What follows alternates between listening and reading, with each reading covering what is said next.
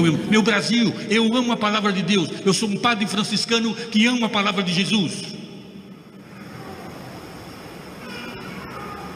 E eu escutei o chamado de Nossa Senhora em Medigore.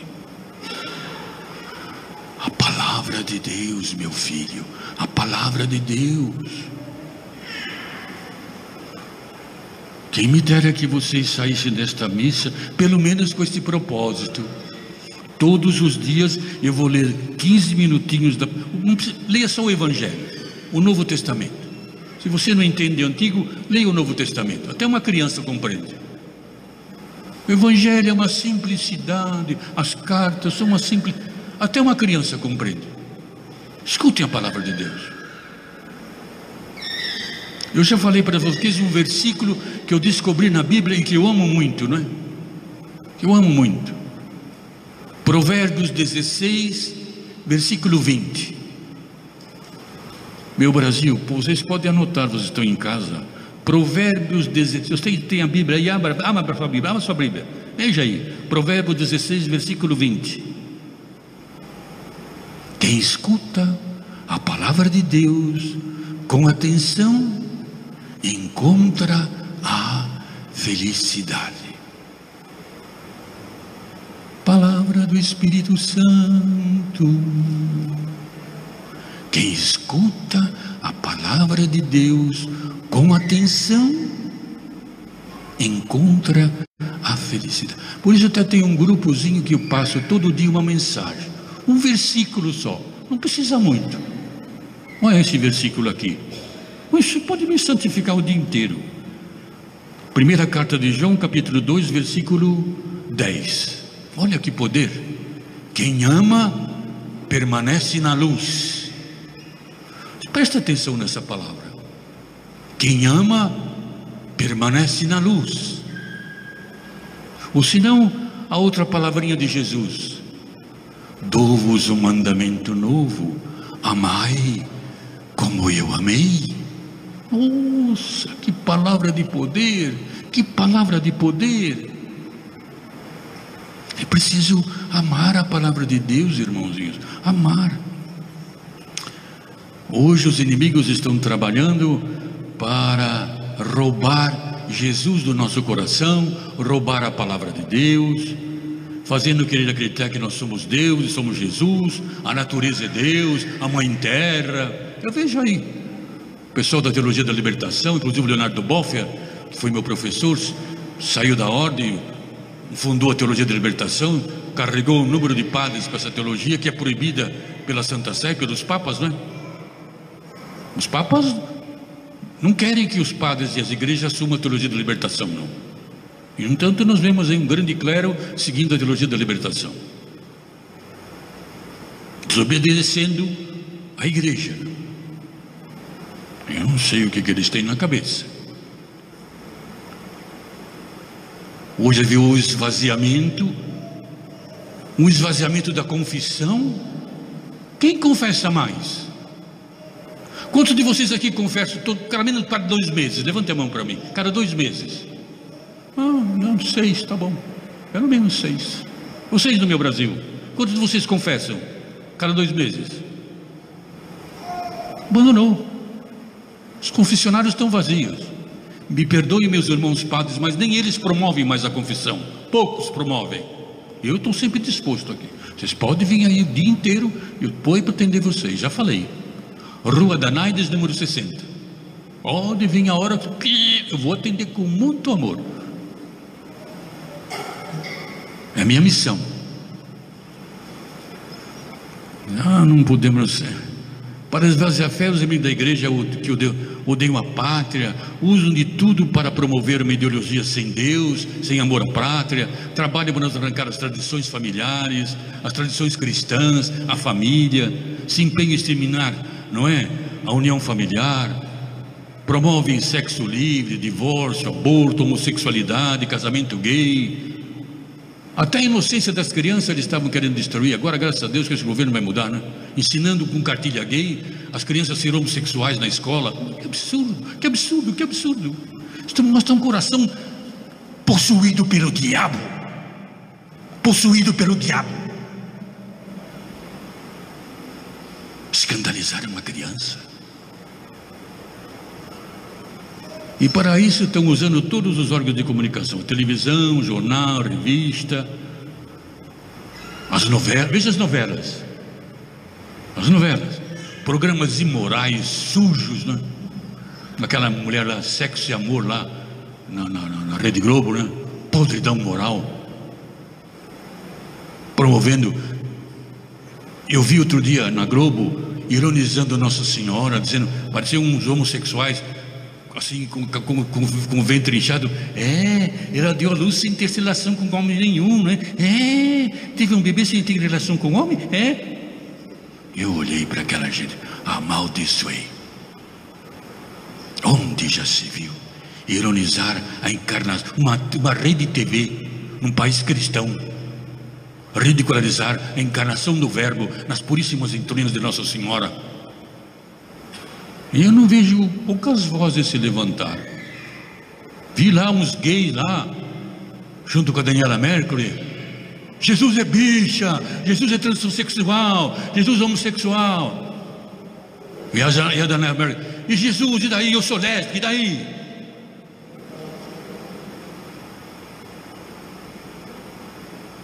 Meu Deus. E assim outros artistas na televisão. E o povo está anestesiado. Está tudo bem. Tá tudo, tem que ser assim mesmo. É, é, são artistas. Que isto? Meu povo? Vocês são cristãos. Tem que se levantar, ser guerreiro de Deus. Isso não está certo. Tem qualquer coisa errada. É, como eu vejo, meus irmãos, e não sei se outros padres como o padre Ricardo, que é um santo, e outros padres, aquele bispo do Nordeste, e outros que estão aí, que é como o nosso bispo Dom José, um homem santo, né? E também não estão contentes com isto, não. Tudo vem sendo usado para uma doutrinação, né? Você pode ver, aboliram das escolas a educação, a educação religiosa, aboliram a moral e cívica, não tem mais nas escolas. Não se canta mais o hino nacional nas escolas. Eu me lembro quando era criança, eu ia na escola, todo dia se dá. Não cantava o hino nacional? Não cantava? Quando vocês eram crianças? Bandeira. O que está acontecendo, meus irmãozinhos? Esvaziando nosso patriotismo, esvaziando nosso amor a Deus, esvaziando, e a gente nem percebe, né? Sutil. Eu vejo até pelos desenhos, viu? Pelos desenhos animados que as crianças assistem, como eles trabalham. Eu estava assistindo do Rei Leão. Chegou nova era, o Rei Leão. Eles introduzem sutilmente nos desenhos animados, imagens, caricaturas, palavras, para mudar o coração das crianças. Educar as crianças no materialismo, na sexualidade livre, sem Deus. Cuidado, meus irmãos. Eduque suas crianças na fé, viu? Tenho em casa o catecismo católico do João Paulo, se todos devem ter esse, esse catecismo católico, para conhecer a doutrina da fé. Como eu disse, estão ensinando que o próprio homem é Deus, né? E uso como instrumento para esvaziando o nosso pirâmide, cristais, esoterismo, magia negra, tarô. É, pode ver a televisão promove de noite.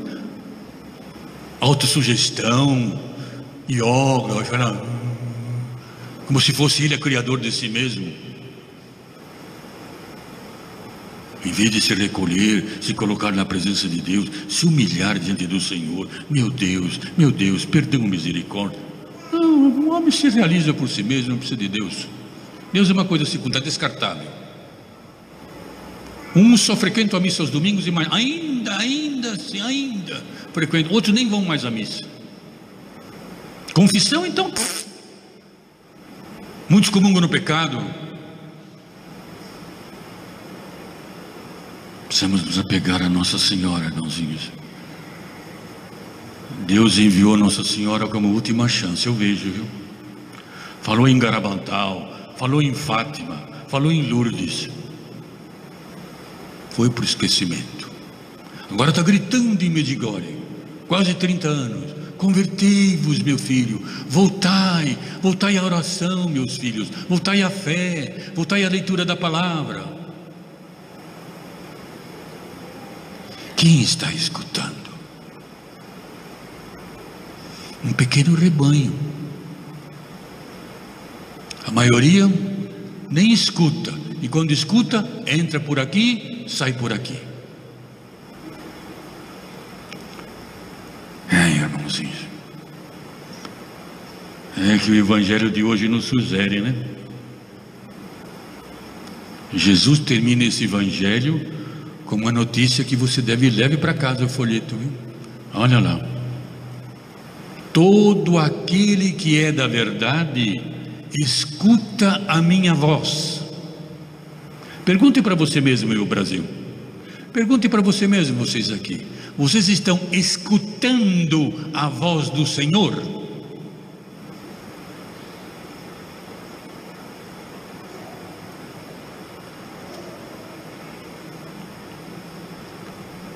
E neste mundo que vale ao mundo, né? Que vale a glória, o poder, a competição, a riqueza, o prazer. E por aí vai. O reinado de Jesus é outro, meus irmãos. O meu reino não é deste mundo.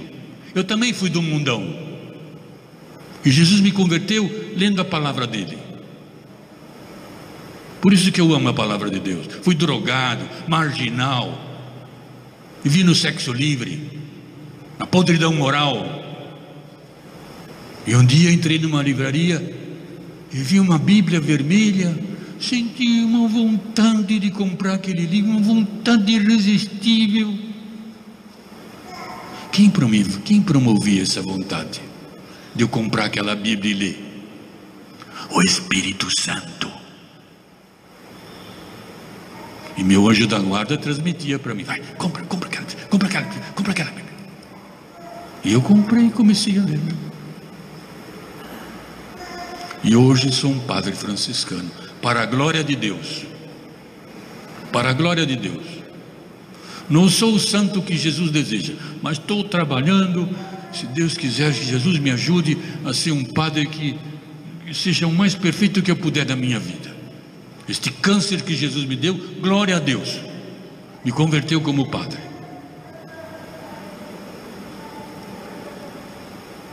É, irmãozinhos, neste domingo, domingo de Cristo Rei, esta Assembleia, vocês do meu Brasil e de outras nações que estão me assistindo, Jesus está chamando vocês através da boca deste pobre padre.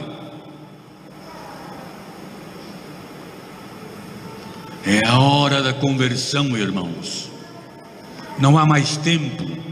O mundo está perdido, falido, sem Deus. Eu estou mentindo? Estou exagerando? É verdade.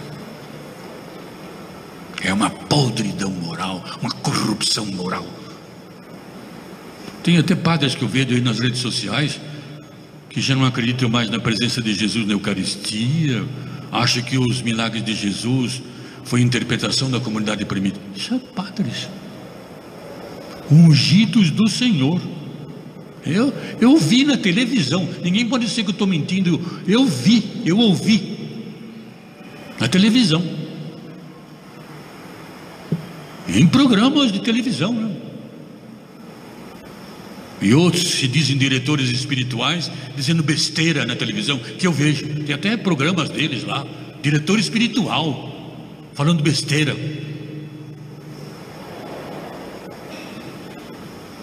É, te vejo padres grandes como o padre Ricardo, né? Um santo homem. Aquele bispo do Nordeste, um santo homem. O Bernardo, um leigo de poder, com uma palavra de poder. Bernardo, que lutam pela verdade, lutam pela verdade, lutam pelo Evangelho. Jesus está levantando cristãos. Porque já que os padres não se levantam, ele está acordando cristãos aí para falar a palavra de Deus.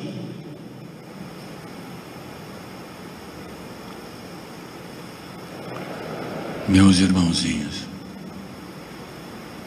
Jesus está me chamando, mais uma vez, está chamando vocês também.